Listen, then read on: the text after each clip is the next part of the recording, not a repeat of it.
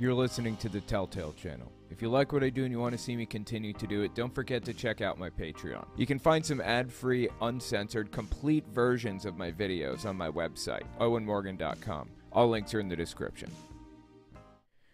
Welcome, everybody. Thank you for coming. You guys should be able to see a much clearer image of me now. I switched cameras. It's not a new camera, it's just I'm using a different one. Unfortunately, the one that I'm using requires that I press a button on the back every 30 minutes, and if I don't, then I'm just going to flip off. So, uh, got a couple of interesting subjects I wanted to cover tonight. First of all, I want to talk about copyright and Adin Ross, uh, Hasanabi. I don't know if you guys have heard of these people or not. I'll explain. And uh, what's going on with their whole copyright situation. And I want to talk about Steven Crowder, who is on screen here. I've talked about S- Steven Crowder a little bit uh, recently, but to make a long story short, he is in a divorce battle with his wife and was revealed to be an abuser, um, extremely emotionally, verbally abusive to his wife. It's been released to the public. There's a video of it. If you want to see a more thorough breakdown of it, I have a video that's coming out on my Telltale Fireside Chat channel. Should be up soon. Or you can check my Telltale Unfiltered channel that released today. Um, I mean, as of the day that this live stream released. If you just want to like see my whole collection of it, go to my website owenmorgan.com and type in Steven Crowder. Every video I've ever released on all of my channels about Steven Crowder will pop up in the search there. Uh, one more thing, if you guys don't mind, I would appreciate it if you start a video of mine, try to watch to the end. And if you can't watch to the end, then watch as much as possible because watch time correlates to how far a video will be pushed in the YouTube in the YouTube algorithm. I asked you guys to watch the entirety of a video recently on my Fireside Chat channel and it exploded. Like no video I've ever seen explode on my channel before, on the Fireside channel before. Got 12,000 views in an hour. I think the most I've ever seen was on my main channel. Got 23,000 views on my main channel in an hour. It was crazy. So, anyways, yeah, watch as much as you can. Liking and subscribing are extremely important, also, just as important. But yeah, watch time average, not by percentage, but total watch time average um, is what determines how far a video is pushed in the algorithm. So, anyways, about um, about Adin Ross and Hasanabi. While we talk about these guys, uh, we're going to uh, hang on one second. Just pull this puppy up. We're gonna play uh, Pokemon Fire Red. It's actually a ROM hack called Ultraviolet that lets me catch every Pokemon. So, yeah, I'm just kind of kind of play through it while I talk about this whole situation. As a lot of you guys probably are aware, I'm dealing with a copyright battle myself with Lionsgate.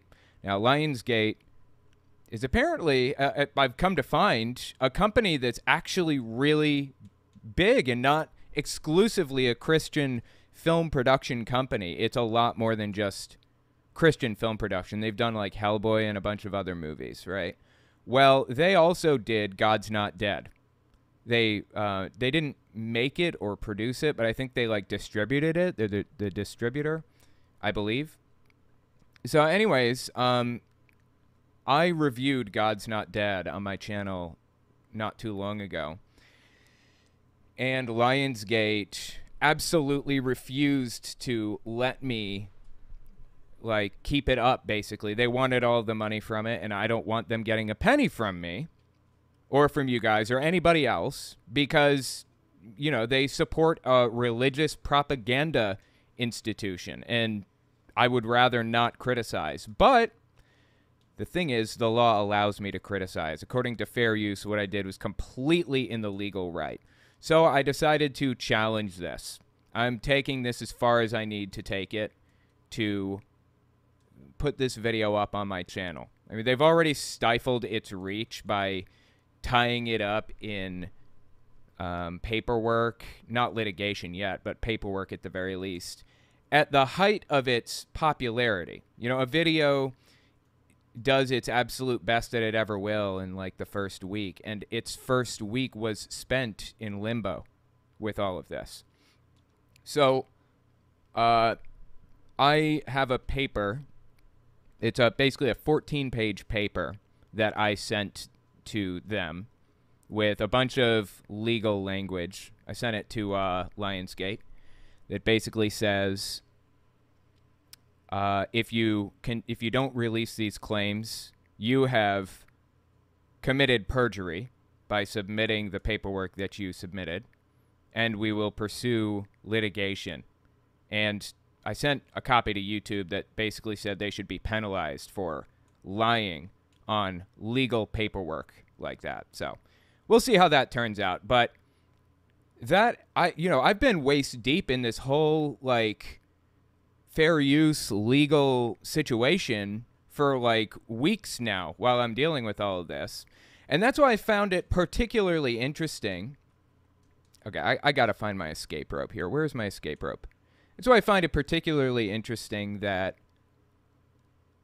uh, Hasan Piker and Adin Ross are going at it right now. Okay, so what I did is perfectly within fair use. I'm I'm completely allowed to criticize a you know an intellectual property. I'm allowed to air it if it's transformative and um, and not a substitute for the original. Well, here's where it gets interesting with Hasan Piker. This is what Hasan did. Uh, he debated um, Andrew Tate, and he was on this stream with Adin Ross and Andrew Tate and some other people. Uh, I think he was. I think uh, Hasan Piker was live streaming it at the moment, right? Well, apparently, I, I don't fully understand the situation, so you got to take this with a grain of salt. But I think that Hasan said that it didn't like his screen record didn't save. So he asked Adin Ross if he would send him his copy of the screen recording. Even though I believe Adin Ross and Hasan Piker were both in the stream at the same time and both like sending it out, sending the data to their YouTube channels simultaneously. And Adin Ross says, okay, he sends the files over to Hasan Piker, who then edits it and uploads it to his channel, similar to what I do. You know, I live stream and then I take the live stream and I cut it up and edit it and reorganize and clean it up, fix the audio glitches and removes the ums and uhs, and I send it out to the audience in a full, complete, edited video, right? Well, that's what Hasan Piker did. He uploaded the edited version to his channel, and then Adin Ross gave him a copyright strike for that, fascinatingly. So here's the question, right? Who is in the right here? Because it was a conversation with Hasan Piker and Andrew Tate, and the entirety of the conversation was between those two. To my knowledge, Adin Ross didn't say a word, right? But that doesn't really matter. I can go to Hasan Piker's house I'm talking from a legal perspective. I'm not a lawyer, and I believe this is how it works. Take it with a grain of salt. I'm not a legal expert, but from what I can tell, I could go to Hasan Piker's house with a camera, record him talking with my camera, and take that recording back and upload it to YouTube. And despite the fact that I am in it in no way, shape, or form, I have nothing to do with it aside from the fact that I owned the camera that filmed it. I can have absolutely nothing to do with it, and I still own the copyrights to it, even though it's entirely Hasan Piker saying it. So in this Hasan Piker v. Adin Ross thing, I think Adin Ross might be correct here, legally. Now, this was resolved already, anyways. Um, Adin Ross released the copyright claim because Hasan Piker said if you really want to use this system against me, then we'll go all the way. And he said, "Don't mess with me." In not so kind terms. I love it, dude. I, Hasan Piker's an interesting guy, say the least. But he was basically planning on contacting every Instagram model that's ever been on Adin Ross's stream before, and uh, having them file takedown notices to every video that Adin Ross has ever released on his channel that has them in it, which they're completely in the legal right to do. And I think that's fantastic. If you're going to use the system against people, then you should have it used against you, in my opinion. Um, so, anyways, I guess Adin Ross dropped the, you know, the copyright takedown notice, which is good. It's exactly what should have happened. And people on YouTube are back to where we were before, which is to say, we realize as YouTubers that it's a bad idea to use the copyright system against each other because it could set bad precedents. You don't want to mess with the copyright system, it's just a bad idea. Oh, and uh, one more thing that I've heard coming up a lot with this battle between Adin Ross and, uh, you know, and Hasanabi is a lot of people saying the copyright system is broken. I mean, I'm sorry, the uh, the YouTube copyright system is broken. YouTube's got to get it together. They got to fix whatever it is they're doing right now with their copyright system. Only here's where it gets interesting. The copyright system that YouTube has set up is not YouTube's copyright system. It is the copyright system. This is like outlined in law. YouTube is literally just following what the law tells them to do. They're not like they didn't come up with their own idea. They're not like passing a football back and forth. You know, they file a takedown notice, you file a dispute, they reject, you file an appeal. This isn't like this isn't a YouTube problem. This is a legal problem. If people like Hasanabi, for example, don't like the way that the copyright system works, they shouldn't be complaining about YouTube. They should be complaining about the law and fix the law, the legal system. Only problem is that this is like largely made up of common law, which means this is all precedent that has been set in courts. Not all of it. I mean, there are some legal things that, you know, there's legislation that's been set through various different, you know, bills and stuff like that. But a lot of the common law that's been established, I mean, some of this common law goes all the way back to like 1843 or something like that. It's crazy.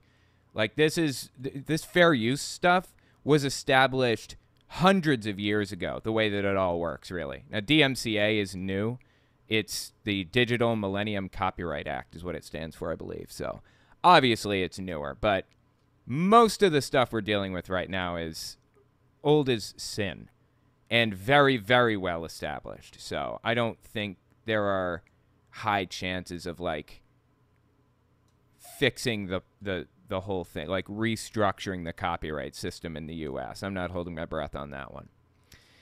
Anyway, so yeah, I thought that was a really interesting little thing I wanted to bring to you guys about copyright, Adin Ross, and Hasanabi and everything. So let's talk about Steven Crowder. This is Steven Crowder on screen if you're unfamiliar. I mentioned him earlier. He's a complete scumbag for our, all intents and purposes. I, I feel comfortable calling him a complete scumbag, right?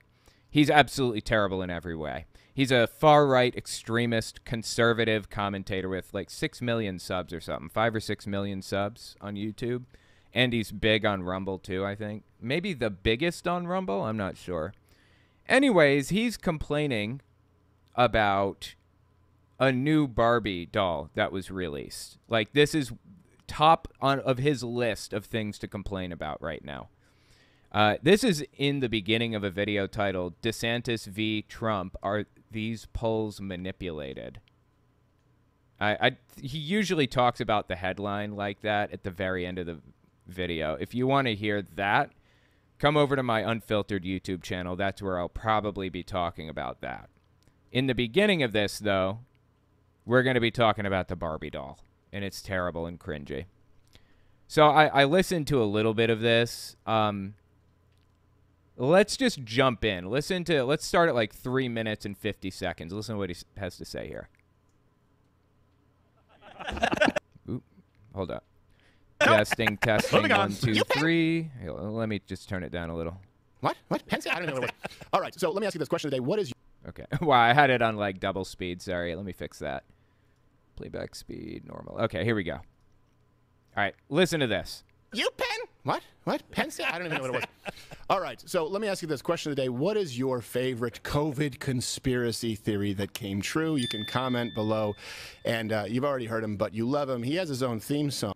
Okay, interesting. Favorite COVID conspiracy theory? Well, let's check, shall we? Let's scroll down in his comments and see what people have to say. For the record, uh, a conspiracy theory is a conspiracy theory because there wasn't enough evidence to believe it when you espoused that idea.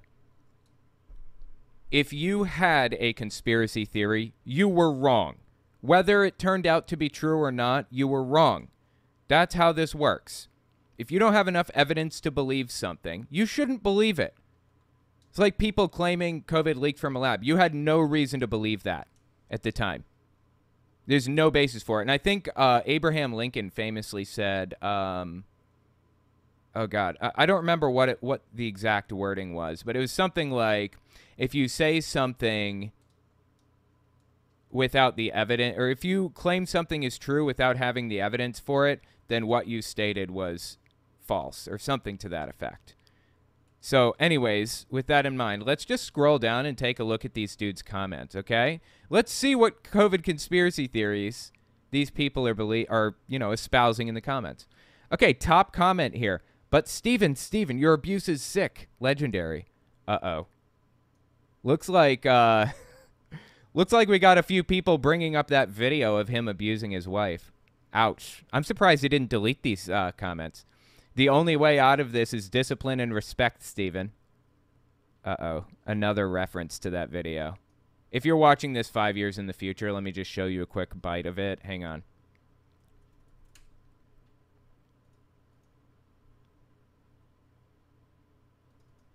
Here it is, right here. Hold up. Uh, let me just adjust. All right, close enough. This is uh Steven Crowder, August 20 or no, July 2021 when this is happening. His wife is 8 months pregnant and he's smoking a cigar in front of her, trying to order her to uh, give medicine to the dog and telling her that if she doesn't, then she's not disciplined enough. I drew a boundary. I drew a boundary. No, no, you just did, you just did it. I drew a boundary of abusive and cruel. You were not taking the car. Because if you refuse to do wifely things, then I will go pick up the groceries. If you refuse to do wifely things, he says, okay. Steaks, wood pellets, my grill. I know it's an unreasonable request, but I'll go do it. How about you first? Hillary, how do you respect the man? Yes, other than man, other than man, receive love and respect. No, no, other than man, no, you're not taking the car. Steven, You're not taking the car. Steven. He's like refusing to let her take the car. He's refusing to let her like go off on her own or do anything or have space from him or, or, or anything at all. And it's like really, really disturbing. Anybody who's been in an abusive situation knows exactly what's happening and probably knows what this feels like. Then I will ask someone to pick me up. Would you like me to? Then I'll ask someone to pick me up, she says. If you don't let me take the car, someone's going to pick me up. He says, Is that a threat? Oh, that's right. It's not a threat, Steven. Give it an Uber. Okay, Steven, I can't. Dude, this is so classically abusive. Like, I'm not getting to the abusive part. Again, if you want to see the full breakdown of the clip, then just check it out on my Fireside channel. I covered it there. Um, or just like go to my website and type Steven Crowder, owenmorgan.com. It should pop up. But, anyways, yeah, he was abusive to his wife, and uh, that's coming back to haunt him apparently. Let's just scroll down, see if we can find some mention of COVID conspiracies. Disgusting abuse of women of a woman carrying your child. I hope she's safe and surrounded by people who love and respect her. Dude's entire career is insulting young people for having silly opinions. Meanwhile, he's scamming and secretly recording his friends and abusing his wife. Wow, dude. Every comment in this guy's like uh, video here. Every comment. May I use the car, King Stephen? Also, may I please avoid poisoning my unborn child with dog medicine, my lord? Good on her for finally leaving you. Wow. That's fantastic. I love it to death. Like every single. Let's just scroll down. Let's go. Uh, let's see. You'd think someone who's involved in the movie Sleepers would be totally against these degenerative agendas toward our children. Okay, there's a positive one towards Steven Crowder at least. Uh, it's always the ones you most expect. Let's see.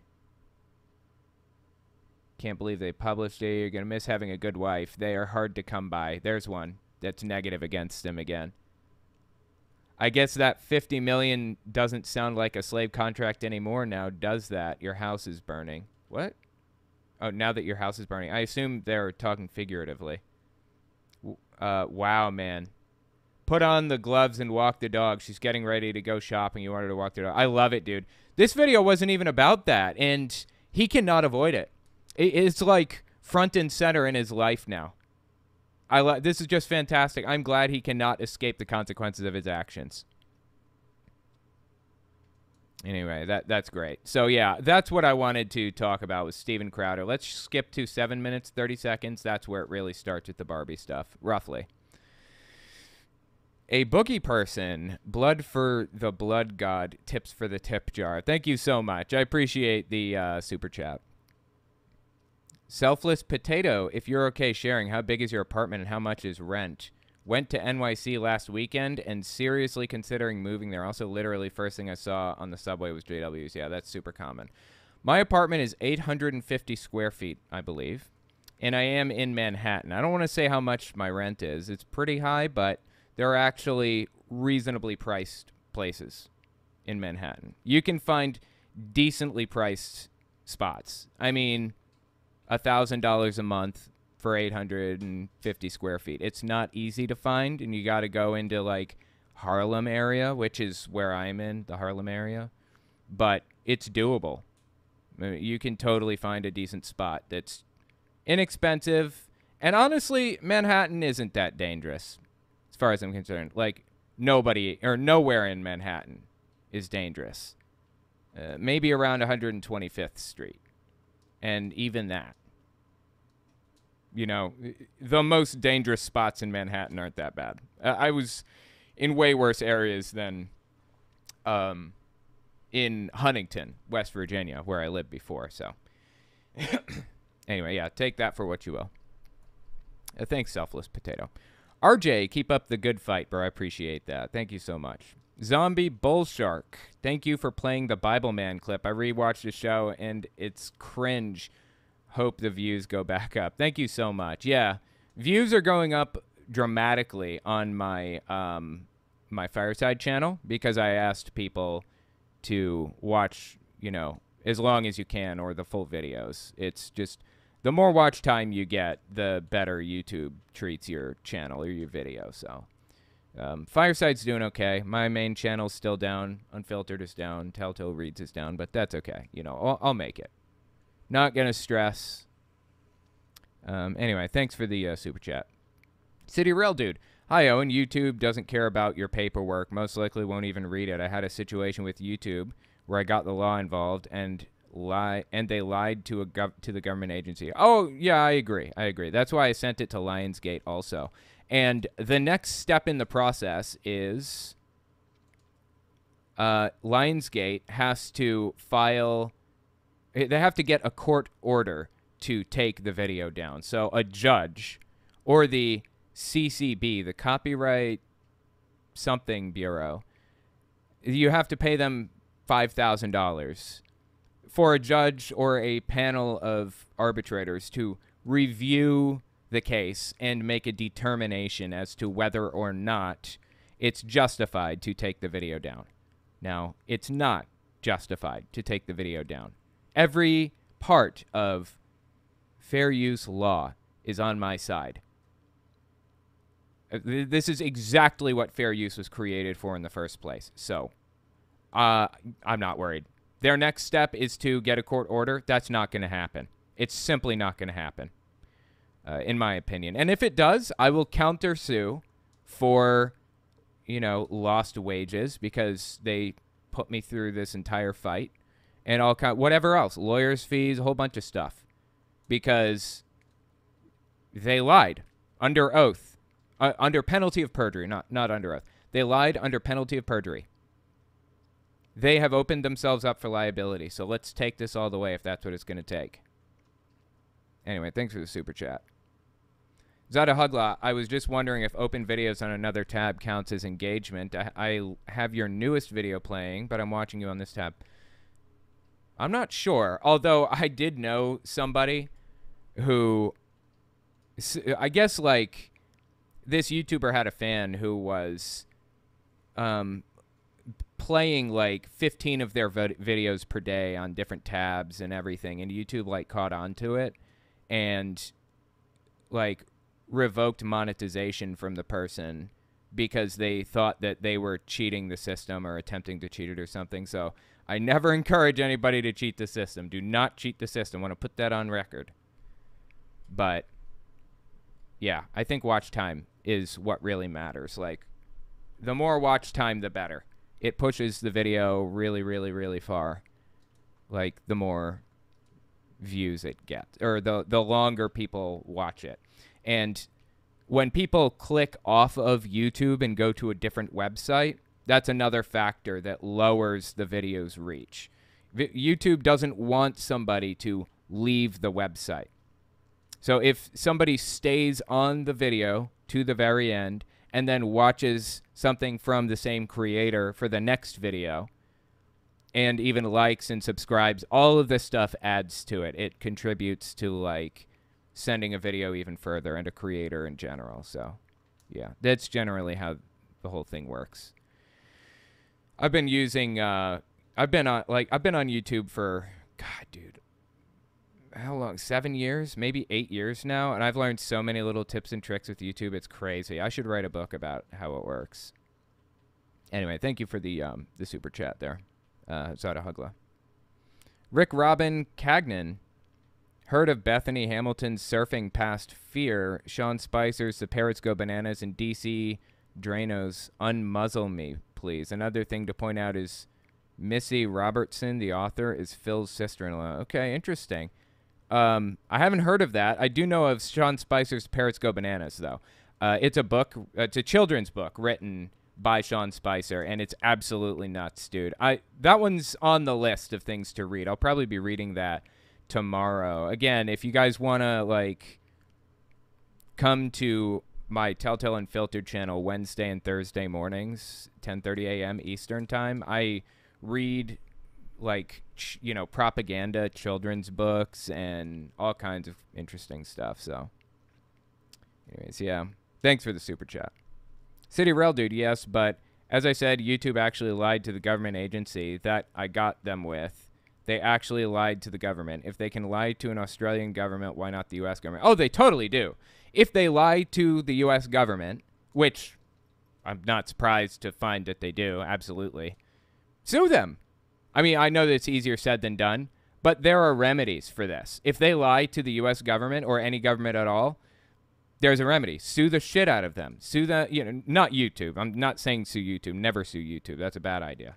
I'm saying if somebody, anybody, some big multinational corporation lies to the government, sue the shit out of them. Sue them out of existence. You know, uh, I, like I said, easier said than done, but that's the remedy. And you should probably assume people are going to lie to the government like that, especially big multinational corporations. That's the type of thing I expect. Anyways, all right, let's listen to Steven Crowder. Um, I've given enough lead up to this. Let's just jump in. This is where he's going to talk about the new Barbie doll coming out by Mattel and complain about it. And while we listen, keep in mind, just keep it in the back of your head. We received this leaked video of him being a, a, an abusive scumbag to his wife, right? And apparently everybody was like all surprised by this. It just blew him away. Like, oh, I had no idea Steven Crowder was like that. Okay, now let's listen to him talk about this Barbie. I I don't know. I don't even know how to tell people to get to your show. Yeah, I know. I Well, go, just drive to you know where and see it live. yeah, drive to Dick's Sporting Goods. Yes. All right, now it's jumping in. Oh. Sorry. Okay, now it starts, I think. The Schenectady Airport that plays on every screen next to Don, whatever Don Lemon's doing now. Okay, so I'm sorry, we've dragged out, we, we, we've wasted your time, but you know what? That's part of it. So Barbie, Mattel, in order to boost inclusivity, just announced, and at one point you would have thought this was a sketch. All references are available for you at louderwithcrowder.com. this is real. They just announced uh, the release. I feel bad even saying it. Down syndrome Barbie. Yes. The world's first Barbie with Down syndrome will give children the opportunity to play with more inclusive dolls. This doll is breaking barriers by creating the first fashion doll Yeah, with Dude, why are these people laughing at this? I don't understand. Remember what I said about him being an abusive scumbag and that like this is apparently coming as like a surprise to everybody in you know in his orbit? He's laughing about this right now. Keep listening. It gets even worse. with retard syndrome, strength. Is this real? allowing more children to project their future through fashion doll play and imagine what is possible. Mattel, Barbie's parent company, announced the Oh, new no. figures will soon be hitting store Oh, no. Well, here's the thing. They, they really have been going full bore, and Mattel actually announced plans to expand this uh, in the name of diversity uh, before the end of the year with sickle. Is- Look, it's not. Hang on. I'm sorry. I'm, we're gonna have to hit what he said just now, but it's not about diversity. It's about first of all appealing to a broader audience, and second, it's about making people who have you know mental conditions or even physical conditions or whatever, like people with Down syndrome, making them feel good, making them feel happy. Why is that so wrong in this guy's mind? Seriously, it's like who was honestly surprised when they f- came to find that this guy is a scumbag? Who was surprised by that revelation? Okay, keep listening because again, it gets worse. You think that was bad? Just wait. Full bore, and Mattel actually announced plans to expand this uh, in the name of diversity uh, before the end of the year with sickle cell Barbie. Oh, for the so love that's of something they also, you know, look. Wow. So, any question this guy is racist? Let me just explain the backstory to everything in this image here. Sickle cell anemia is a condition that evolved out of Africa because malaria was spreading around Africa. And you have these uh, little red blood cells, I think. It's called hemoglobin, actually. And hemoglobin Okay, hemoglobin is shaped like this. Okay, if you're looking on screen, this is what hemoglobin hemoglobin looks like. Kind of like a, a it's like a donut, but the hole isn't open; it just kind of dips in, and oxygen molecules attach to that center dip. Well, malaria attaches to the center dip also on hemoglobin. So there's an evolutionary adaptation called sickle cell anemia that cuts the hemoglobin uh, cell in half.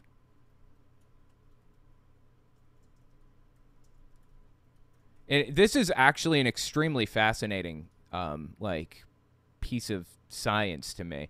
So if you're looking at the screen, this is what it looks like. A normal red blood cell looks like the left; it's the donut shape, and then a sickle cell is just like a moon shape and that protects people from catching malaria. But it has a downside in that it's harder for it to carry oxygen molecules. Not impossible, but your oxygen level is usually lower, and you have a lower tolerance for like physical activities as a result. And um, so black people commonly have sickle cell anemia, or if it shows up, then it's in you know people from the black community from the African African American community, right? Well, Steven Crowder decides to make a joke about black people. It's called Sickle Cell Barbie, and there's a Planned Parenthood sign in the background because, you know, black people are, uh, you know, a billion babies around. Uh, they don't understand how to use birth control, so they just get a billion abortions. This is just pure unadulterated racism, right? I- Is there any question that this guy was a scumbag from the start? Does anybody wonder if that video of him was real?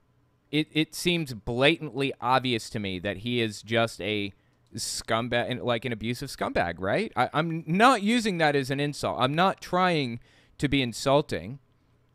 Really, I'm trying to point out the guy's personality. He is proud of this about himself.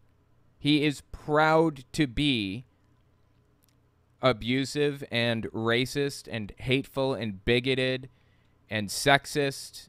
I mean, this is like a fundamental piece of his personality that he enjoys and wants people to know about, right? University uh, before the end of the year with Oh, oh yeah, and I, we can't forget about that other piece of his personality where he likes making fun of people with Down syndrome. Can't forget that one. sickle cell Barbie. Oh, for the so love of that's something they also, you know, look, everyone's everyone's involved. Down syndrome Barbie. Short bus not included. Did she have to oh, say? Did she have to say smash through barriers when we all know about special needs strength? I mean, for crying out loud. That, Why are they laughing? I don't like I don't see what's funny here. This isn't funny at all. I'm really trying to understand what makes this so funny to somebody like Steven Crowder, but I'm just lost. I looked at the Barbie and I'm like, she, she doesn't look that downsy. that- exactly. That's my whole point. It looks How like would you Amy know? Schumer Barbie. Oh yeah, he likes to shout out his, his Rumble channel constantly. Um, like the thing is, this isn't even unusual for Steven Crowder. This is like exactly the type of thing that you can expect if you're watching something from the dude. This type of thing from him. Says this is the Down syndrome Yeah, Barbie, and it it's like here yeah. another Barbie to sell. Like I feel like I'm being taken advantage of. Now with more retard. Yeah. Why? Why is he like this? Like, what is he accomplishing by being like this? Just disgusting. Like everything about it. I really don't get the point here. Like, people are laughing, but why? What's funny here? I'm, I'm really trying to understand. Seriously. There, there's nothing funny about this at all. That's why I promise. What, I don't know. Professional assistant not included. Lena Dunham. It's so weird. I don't know what to. By the way, if you see this or hear this, He says professional assistant not included because people who have Down syndrome need, uh, you know, an assistant usually. Why is that funny? It's not like, you know, I, okay, I can get behind the occasional joke that's at somebody else's expense if they're lighthearted about it or whatever. I, you know, I'm okay with the occasional dark joke. Sometimes they can be pretty funny. I'm pretty easygoing when it comes to jokes, but jokes reveal something about you. They reveal where your mind is. They reveal how you feel about issues. Like if all you do is joke about the Barbie that has Down syndrome and all of the qualities about people with Down syndrome and stuff, like, what is that showing us about who this guy is? He is absolutely terrible in every way.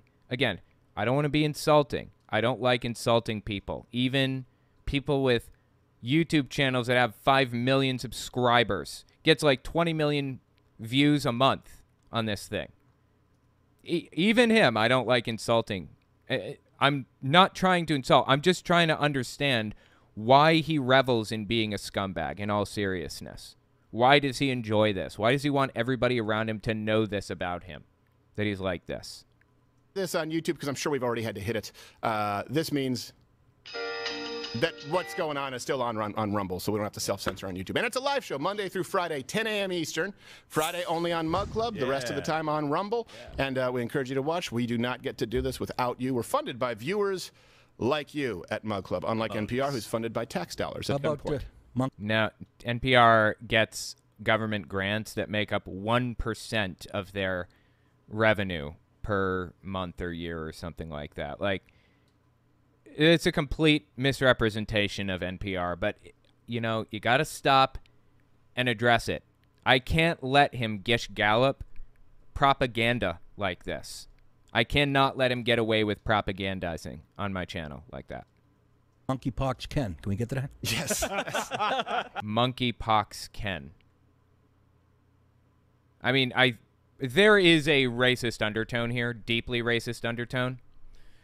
Um, it's an undertone that you know might otherwise act as a dog whistle, but not with Steven Crowder. He's pretty open about the fact that he's racist, right? That's only fair. he drives his It's converti- only it's inclusive. drives his convertible and skin flakes just flying off. Can we Hits get Barbie in the face. Yeah. Oh no, gosh, what do you have? Leprosy? No, I just I went to a Norwegian techno festival. right? I don't get it. The guy is supposed to be like a comedian. Like he goes to he does comedy shows all the time. I'm not seeing the joke here at all. How about the 42% suicide rate, Barbie? Oh, oh yeah. Those? I think that's an anti-trans joke for what for what it's worth. What's funny? I'm really trying to get the humor. And what's the point of covering this? I want I want everybody to be fully aware of exactly who this guy is. I don't want it to be a surprise to anybody when a video releases, like the one that came out about Steven Crowder and his wife, you know, where he was like harassing and attacking her and, and abusing her for all intents and purposes. I don't want it to be a surprise. I want everybody to know exactly who this guy is. Yes. I'm sorry. If we're going there, let's go there. It comes with a nice sailor's knot. Yeah, there's a you know, there's a noose in every bar, every room in the Barbie uh, dream house. Why? I, I don't. What's the joke here? Like, why is this funny to anybody? When it comes with a little eight ball that says "Not today." Look, look. Here's the thing. I have worked with you know the special needs people for for years. Yeah, you know, like me volunteer. too. They Please don't tell me that. I call never it were dating. sitting there. Yeah, well, that's just called taking advantage. It's called grooming, Dave. uh, it's called I don't get the context here. there. Yeah, well, that's just called taking advantage. It's called grooming, Dave. uh, it's called grooming little ladies. Um, none of them ever thought, I, I, I don't feel represented. Right. They never complained about it. They were told. No, but you bring a Barbie doll up to somebody who has Down syndrome and you say, This Barbie is just like you. You know, this Barbie has your same experiences. It could make somebody feel better, it could make a kid feel better. What's wrong with making a kid feel better? Seriously, he's he's sitting here complaining about the fact that a kid is being represented. That a kid who is disadvantaged and has problems and will never will most likely feel like they're not like everybody else in some way. They're being given something that kind of represents themselves. If that makes a kid a little bit happier, why do you care? Honestly, does he think that this is like some culture war issue that he should be leaning into? Like, if we don't fix this, then the next thing is what? What's the logical end to the? What's your slippery slope you're afraid of happening if a Down syndrome kid feels a little bit of representation in their lives? I guarantee it. If a Barbie came out that had leukemia, as Nico Nerd says here, he'd make fun of that too. He would make fun of leukemia patients. Absolutely. He's making fun of Down syndrome patients right now. Does it get lower than this? How could you possibly get lower than this? This is insane. totally fine. They were totally fine Because, with their toys. because Barbie is Just like chubby girls weren't going, Barbie's too thin. Right, exactly. I mean, Barbie allows me to live a full life. Apparently, is Yeah. what. Dang it! And, and he's gonna clip this, and I know soundboard. I'm marking it down right now. Sorry, dang it. Dude, and everybody on this show, look at these people. Everybody on this show is tacitly endorsing what's happening here and what's being said and this personality type. How do they live with themselves? Making fun of a Barbie that has Down syndrome, making fun of Down syndrome kids. Seriously, I, I, I really don't know how it gets lower. Gottfried Lieben, or Leibniz says, just keep watching, he goes lower. I'm hard pressed to believe you, but uh, okay. Let's keep going. Let's see. I know soundboard. I'm marking it down right now. Sorry, dang it. All right. Dude, if you like Steven Crowder, this is what you endorse right here. So you guys can comment if you, you know, look, if you have a kid with Down syndrome and you're really happy about Down syndrome Barbie, great. Good for you. I just think that it's stupid. Yes. And I don't mean stupid like cool, like, oh, yo, that's stupid. I mean, that's stupid. unintelligent. I thought you guys were doing a parody of a commercial. I know. I I I know some of the stuff exists, but that one even went a little. I, Look, why do you care if kids get representation? Like, kids with Down syndrome feel a little bit happier because somebody else shares their experiences or because they have a doll that represents their experiences. Why do you care? This is insane. I mean, yeah, it's look, we need it. It was needed, but now we have it, so everything is good. So let's move on to a story that I think is also really important here. Yeah. Um, remember COVID? Yes. Remember that? Remember that was a thing? And some of you may not know, uh, some of you who maybe were a little bit younger, uh, the entire world got locked down. Yeah. Right? Uh, okay. Not the United States, though. There was no uh, federal lockdown in the U.S. Now, st- some states had some lockdown protocols for a short time, but overall, the U.S. really didn't lock down. Uh, some businesses optionally chose to operate virtually or to temporarily shut down or, you know, any number of things. But that was private businesses doing private business decisions. But, okay, let's keep let's keep listening. Just want to set that straight. Uh, some of you who maybe were a little bit younger, uh, the entire world got locked down. Yeah. Right? They were locked down. Uh, then there were vaccine mandates. It upended the. There were never max, uh, vaccine mandates in the United States at any point ever. There was a testing mandate, which you could be exempted from if you got vaccinated, i.e., you had to take a weekly test if you worked for a company that was over 100 employees, I believe. I don't even think that went through. I think that was challenged and then shot down by the Supreme Court or something like that, anyways. Um, that's not a vaccine mandate, that's a testing mandate. Okay? But all right, let's keep listening to him lie and propagandize about it. Down. Yeah. Right? They were locked down. Uh, then there were vaccine mandates. It upended the economy, unemployment to numbers that we've never seen in our lifetime, a fundamental That's true. shifting of the economy, all on the word of a few experts and, of course, the lackeys who said trust the science. And I know that right now this Mm, Okay, well, it wasn't a few experts or lackeys. It was basically every expert in the field does explaining how this all works. And it wasn't even just in the United States, it was worldwide. Experts in France and Germany and Poland and hell, South America, all of South, like Brazil and Chile and Canada and everywhere, even China and Russia and African countries were you know, explaining how this works. They were all in agreement. Everybody. Your ass came up with conspiracy theories and claimed to be persecuted because of all this other garbage. Like, that's a complete misrepresentation of the situation. I just want to put that on record.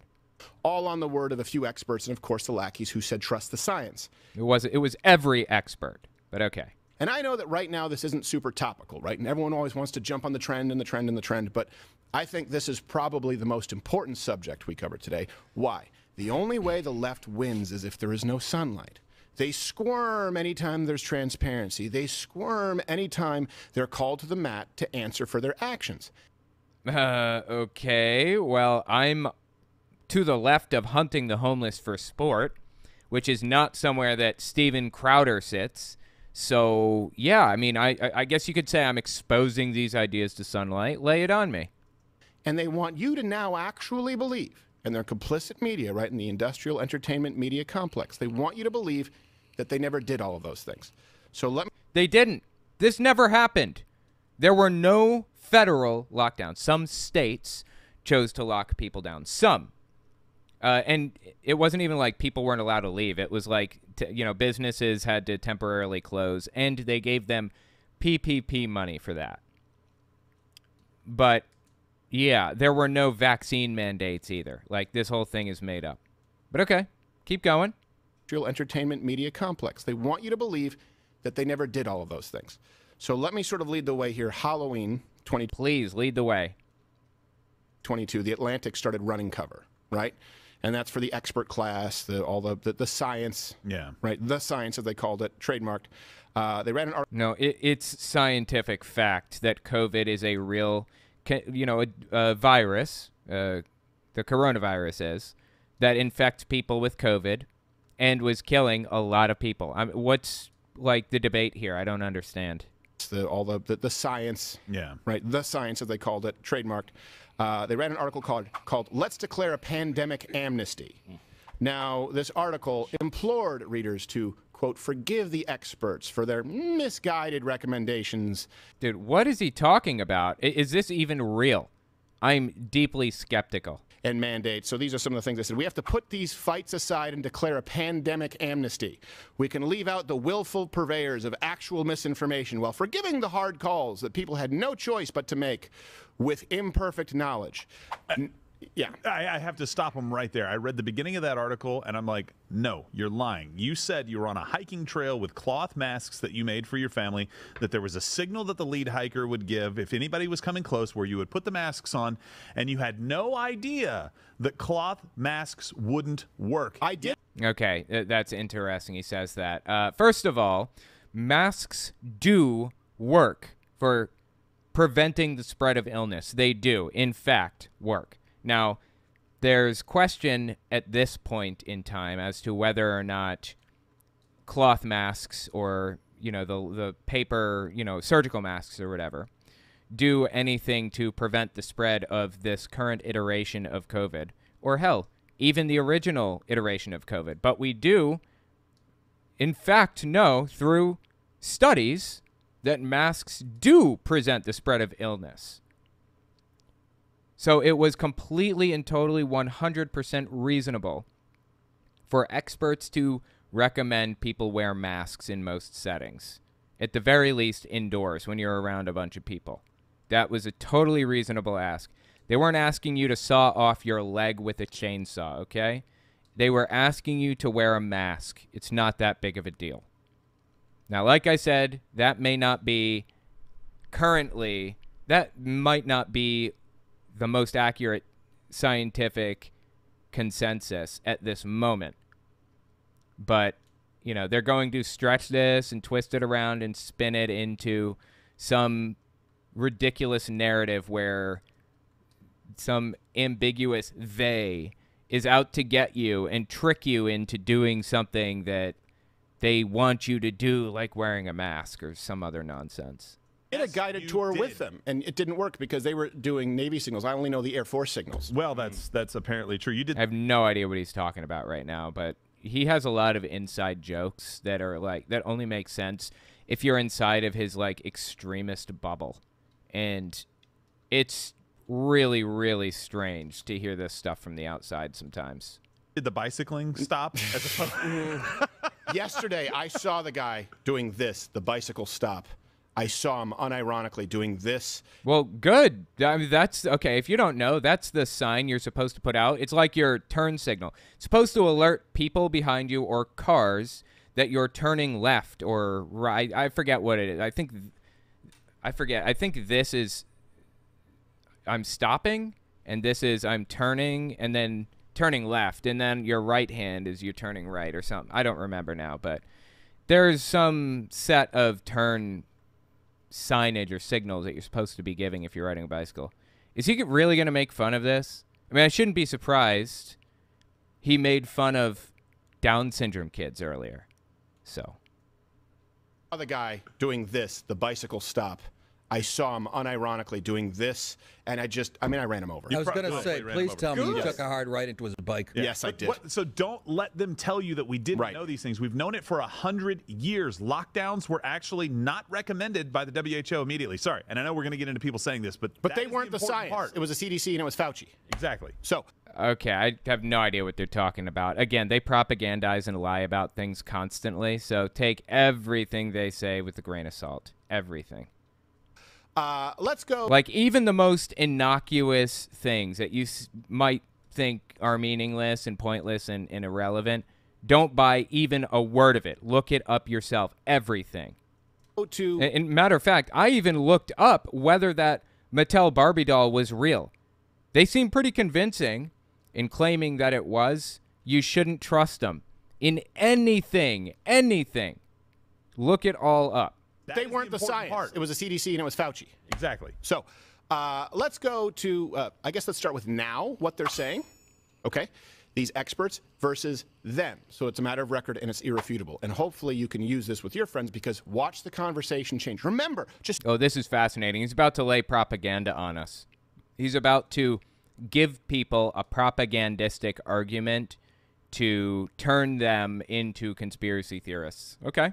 Don't forget. Don't think, did I dream that? All your friends now who are saying, oh, you know, we didn't know. No, they did know. Those same people at your dinner meeting, at, at your Thanksgiving dinners were saying, we have to lock down. Can you believe that Republicans are going to spread this? Remember, we were providing information at that point in time while the experts were giving you one side. Now they're acting as though Okay, con- when he says we, we were giving you information, what he means is conspiracy theorists. And no, you weren't giving me information, you were giving me conjecture and speculation built on absolutely nothing. That's very different. There's no reason to believe anything that this guy had to say because he wasn't building it on evidence or studies or hard facts. He was he was building it on feelings. They never had access to this information. It's not true. It's just like Fauci when he said AIDS was airborne, and other scientists said no, it's not. But he was in a position of authority. So now we have Okay, I don't know what he's talking about, but again, he's throwing out. This is uh, similar to the fire hose of falsehoods. It's a propaganda technique. Um, I think this is probably a Gish Gallop, where he throws out a bunch of claims back to back to back to back, and you don't have time to refute or pull them apart. You just have to move on to the next one because stopping at every single claim would take forever. That's the strategy. And most of the claims that you hear this guy say, you probably won't believe. But a couple, you might. And that's all he wants. Move you over on a couple of little issues. It's generally, in my opinion, a dangerous thing to air propaganda. It's it's very dangerous to air propaganda without any pushback. So I feel obligated to push back on every piece that I see, every single piece. uh, Prime Minister, uh, uh, Blackface in Chief uh, Justin Trudeau, University of Ottawa on Monday. There's another blackface in chief. It's just little things, little pieces of propaganda that are used to turn everybody against one specific idea or belief system or ideology or whatever. Anything he can do to push people in a far right extremist direction, he'll say it and he'll do it. Uh, Prime Minister, uh, uh, Blackface in Chief uh, Justin Trudeau, University of Ottawa on Monday, said that he actually never forced anyone to get vaccinated. Okay, I don't know what this is, and I is this Justin Trudeau in that old college film that he did like thirty years ago or something? I have no idea. Okay, sorry, wrong clip. Uh, here's all the of right the clip. scientists and the medical experts and the researchers, not just in Canada but around the world, understood that vaccination was going to be the way through this. And therefore, while not forcing anyone to get vaccinated, I chose to make sure that all the incentives and all the protections were there to encourage Canadians to get vaccinated. And that's exactly what they did. We got vaccinated to a higher level than just about any other of our peer countries. Yeah. Yeah, threatening people with jail time and freezing their bank accounts. It was just. Okay, that's not what happened. Again, propaganda. Canada went through the exact thing that the U.S. went through, to my knowledge.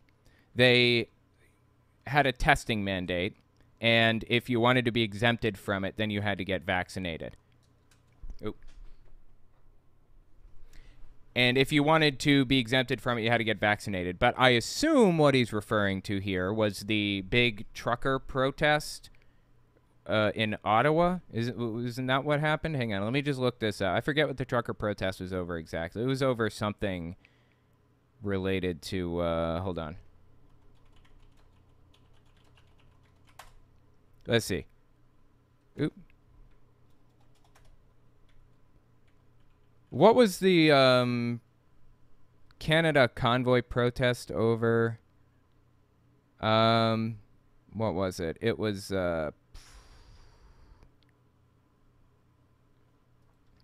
band gatherings, blah blah blah. OPS. I don't. Okay, there are a bunch of sources here, but yeah, it was in Ottawa. From eight thousand to eighteen thousand pedestrian protesters at its peak. It was huge. Freedom Convoy is what it was called. Convoy de la Liberté. I know I'm butchering that French pronunciation. I apologize. Yeah, first aimed at a COVID 19 vaccine mandate for cross border truckers. Got it, got it, got it, got it. Okay. So that's what the uh, the original convoy thing, the Freedom Convoy thing was over. Um, people were protesting a mandate if you were crossing the border, you had to get a vaccine, basically. And they were protesting that. Well, see, that's the thing. It's not exactly a mandate if you have a way out of it, right? Now, he says they froze people's bank accounts and jailed them for not getting vaccinated. Again, another piece of propaganda. That's not what happened. They had their bank accounts frozen and went to jail for being domestic terrorists.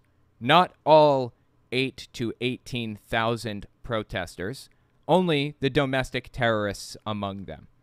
Those were the ones that were jailed and or had their bank accounts frozen. That's it.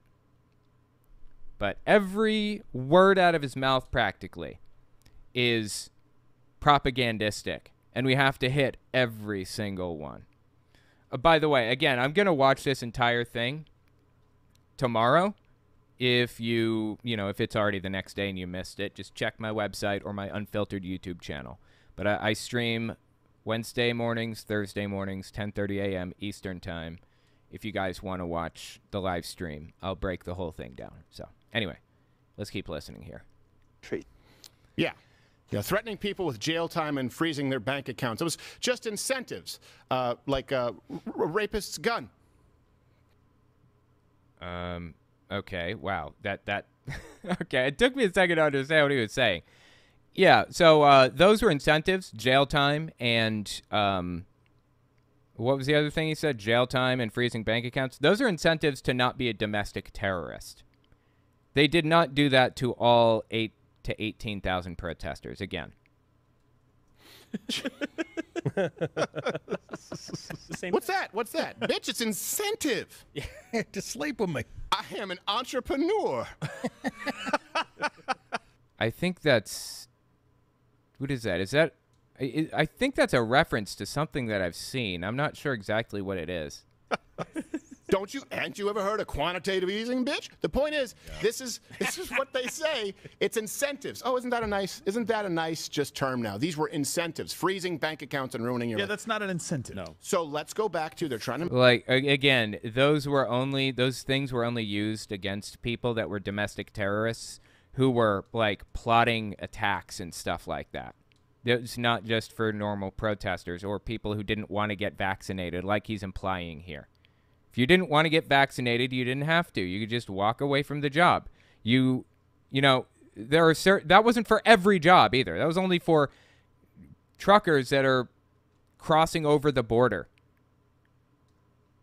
Anyway, just every last bit of this is propagandistic nonsense. All of it. A memory hole you back. Then Prime Minister Blackface, who did it like nine times. The thing about the fact that this guy has been forgiven, it just shows you none of this selective outrage is real. This guy did it more times than you probably wear an outfit, period. Dude, I have no. Again, this is all propaganda. I have no clue what he's talking about. He's trying to make Justin Trudeau out to be a racist when he's, I don't know, you know, I would venture to guess that Justin Trudeau has probably done some racist things in his life. I have no idea what this whole blackface thing is about. I paid zero attention to it. By and large, Justin Trudeau has fought for the struggles of minority groups, and that is respectable. At the same time, nobody is perfect. Trudeau definitely uh, mistreated indigenous groups terribly, and the Canadian government generally has, or uh, let me rephrase the Canadian government under Trudeau's watch and the watches of the people that came before Trudeau terribly mistreated uh, indigenous groups and other uh, minority groups. So nobody's perfect. Is he better than the conservative option? Absolutely. Holy Christ on a cracker, dude. Trudeau is as good as it gets as far as politicians and racism goes.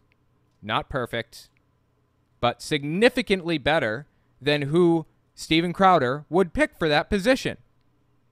I mean, we just listened to Steven Crowder make jokes about sickle cell Barbie.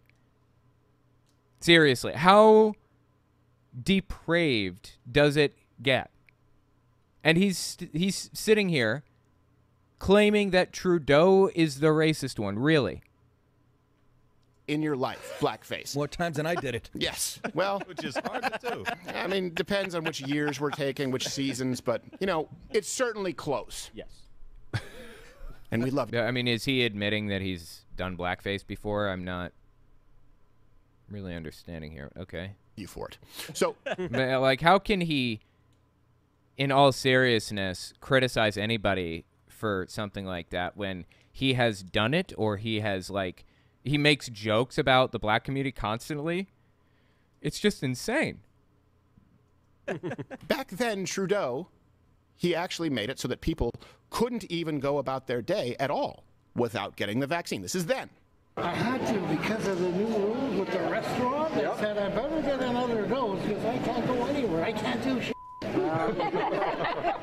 Right. Look, you don't have to get vaccinated, but if you don't get vaccinated, you have to order out. You can't sit in a restaurant with a bunch of other people around you.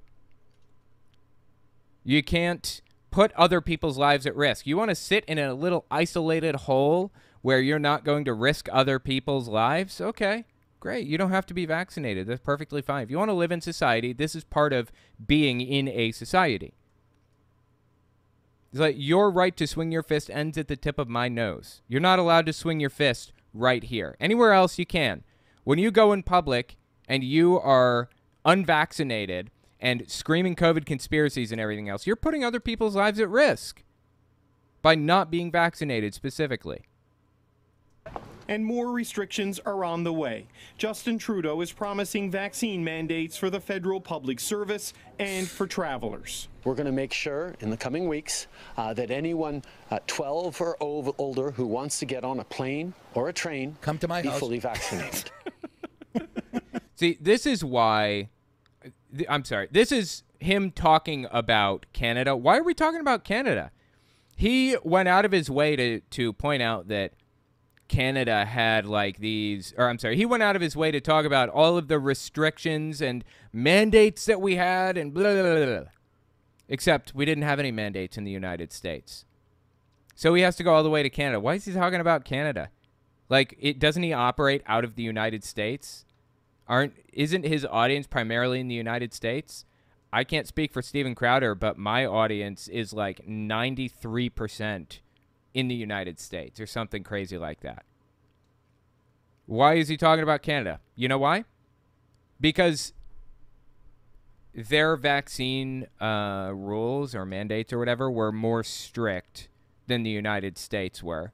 So he has to make it out like he has to make it seem as though uh, or let me rephrase. He has to equivocate. He has to combine the two. He's trying to make it out like the United States is is or was just as bad as Canada was, and that's simply false. Canada wasn't even that bad, anyways. September 21st of 2021. Yep. A year and a half into the pandemic. He was very proud of it, too. Yes. So for him to now say, I never forced anyone. And by the way, let's Well, he didn't force anybody. also, uh, here's another then, just so you know. Prime Minister Blackface described, and we're going to get to Fauci, uh, he described people protesting the vaccine mandates, which, by the way, why would you need to protest anything? if There's no vaccine mandate, which is what he's saying now. He described the people protesting the vaccine mandate. Uh, People protest things all the time that aren't real. People protest a big globe all the time. You know, those flat earthers are all upset that big globe is out to get them or some other nonsense. There are protests about the fact that the government created birds. They're really little robots designed to spy on you. They're not real. People protest stuff all the time. What's he talking about? Fauci, uh, he described people protesting the vaccine mandates, which, by the way, why would you need to protest anything there's no vaccine mandate, which is what he's saying now. He described the people protesting the vaccine mandate, uh, the vaccine mandate, which is a figment of your imagination, as disgusting, subhuman. Okay. uh, Well, if he calls anybody subhuman, I don't believe in that. But again, like every clip in this thing is, it should be assumed that it's disingenuously edited and stuck together to make it seem like something other than what it actually was. I see that all the time from the far right, which Steven Crowder most definitely is. Canadians at home watching in disgust and disbelief at this behavior, wondering how this could have happened in our nation's capital after everything we've been through together. I assume he's talking about the Freedom Convoy. This is not the story of our pandemic, of our country, of our people. The two worst human beings that I have. Okay, hold on. Let me listen again. Of our country. This is not the story of our pandemic, of our country, of our people. Okay, well, Steven Crowder said that Trudeau claimed people were subhuman. I didn't pick up on that at all. Did anybody pick up on that? Where did he say that they're subhuman? Or that they're even disgusting or, or evil or whatever? He just said this isn't the story of our pandemic. What? The two worst human beings that I have ever seen in politics that man and Governor Whitmer in Michigan. Yeah. People, there are people who disagree with. There are people who you can tell just get off on power and That's abusing right. it. He's one of them. Yeah. How did you draw that conclusion? I haven't seen that at all, like even a little bit. What? And he's he's so weak, he's dangerous. Yes. Because he's going to have to do something to make himself look strong. Like What? What are they talking about right now? And do they feel the same about Donald Trump, I wonder? Mm-hmm. freezing the bank accounts of truckers and saying that they're disgusting people. Again, I'll give you the timeline. About a year into the pandemic, it's not Yes. that we didn't know anything. Then come on, are you serious? Yeah, that Okay, I don't understand the point. A year into the pandemic, what does that have to do with anything? That's when the Freedom Convoy was running around doing their stuff. And it wasn't truckers that he said that about. You know who it was? Domestic terrorists at the trucker convoy thing. It was people that were acting as provocateurs. Is people that were doing extremist stuff. It wasn't just randos that were like wandered into the park. Oh, is there a protest happening right now? That's not what happened, and they know that. Again, this is how propaganda works. At point, well, guess what? They were removing us from YouTube, from Facebook, from Twitter. If we said that, hey, these actually these these lockdowns don't work, the W. Oh, did they remove him from YouTube? Looks like he's still here to me. Now, I think that they took videos down if he propagandized and lied about COVID and spread disinformation about it. Totally justified, in my opinion. I didn't get a single video taken down through the entire pandemic, and I talked about it every step of the way. Weird how that works, huh? When you don't lie and propagandize and warp things out of perspective, you don't have to worry about people saying what you're doing is disinformation. When you don't spread disinformation, you don't have to worry about being blamed for spreading disinformation. Weird how that works, huh? WHO doesn't recommend them. Remember, that was one of the suspensions. No lockdowns, according to WHO, Yeah. who also denied that um, you know that Taiwan existed. On the first one, on the very first. Again, that he always sticks in those little barbs all through it. Denied Taiwan existed. Was that have to do with absolutely anything? Is that even true? Everything this guy says is propaganda.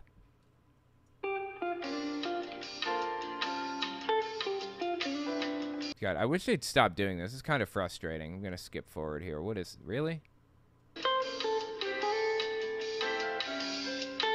God, it's so frustrating, dude. That this guy is so propagandistic. I gotta give him credit. He is a master propagandist. Disgusting. another another, uh, another uh, issue then. Uh, you know what? I, again, this is a PG-13 show. I'm pretty sure I know what Nick's going to say after this clip. I will not And I, I no, no. You know what? do it, do it, Nick. I think you let your freak flag fly. So, Prime, but Deputy Prime Minister uh, Chrystia Freeland, or Cocksucker. Christine- whoa, whoa. That's not an insult. She's a lady. Oh, That just means I he's, thought it she's doing a- her I part. thought it was a guy. Sorry. Why are they like this? I don't understand. How did they get to this point, honestly? How did it get to the point where they are willing to make fun of kids with Down syndrome? This is absolutely unhinged from reality. And it's disgusting. Anyway, I'll tell you what, I'm going to call it there for the moment. If you guys want to see more of it, come over to my Telltale Unfiltered YouTube channel. Wednesday mornings and Thursday mornings, 10:30 a.m. Uh, I cover this type of thing all the time. And check my website, owenmorgan.com, if you want to see more stuff on there. Um, like, just search for like Steven Crowder, and everything should pop up. Let's take a look at uh, super chats. Where was I? Sarah Nova, the God movie is the ad for your content for me, and it, and it's ones for those super long, expensive ads. Wait, the God's Not Dead movie is the ad? Okay, that's weird. Oh, that sucks. I'm sorry. yeah. Well, you know what? At least they're advertising with like a uh an audience that is not receptive to it really. At least they're not advertising to somebody who could be susceptible to propaganda, right? I think my I would like to think my audience is less susceptible to propaganda than, you know, other groups of people. Of course, that's like the first step to falling for propaganda, right? Is thinking you're not susceptible to it. So, anyway, yeah, I have almost no control over advertisements. I wish I had a little more control than I do, but yeah. Anyway. Donar Drake, evening, Owen. I hope your evening is going well. Thank you so much. Yeah, it's going pretty well. Uh, glad you guys made it. But anyway, I'll tell you what, guys. Thank you so much for coming and hanging out with me. It's been fun. I'm to hop off of here for now. Um, again, if you guys want to come see me, check out my unfiltered YouTube channel. I do this exact thing over there Wednesdays and Thursdays, and you can check out edited versions of what I do on that, um, you know, on that YouTube channel. Uh, don't forget, like when you watch one of my videos, please like it, subscribe, and watch the whole thing if possible. If if you can't watch the whole thing, then at least make it a little bit further than you would have otherwise, because watch time pushes the video further, basically. So anyway, all right, guys, I'm outie. I will see you guys. If not tomorrow morning, then I'll see you next week. Okay. All right, have a good one, everybody.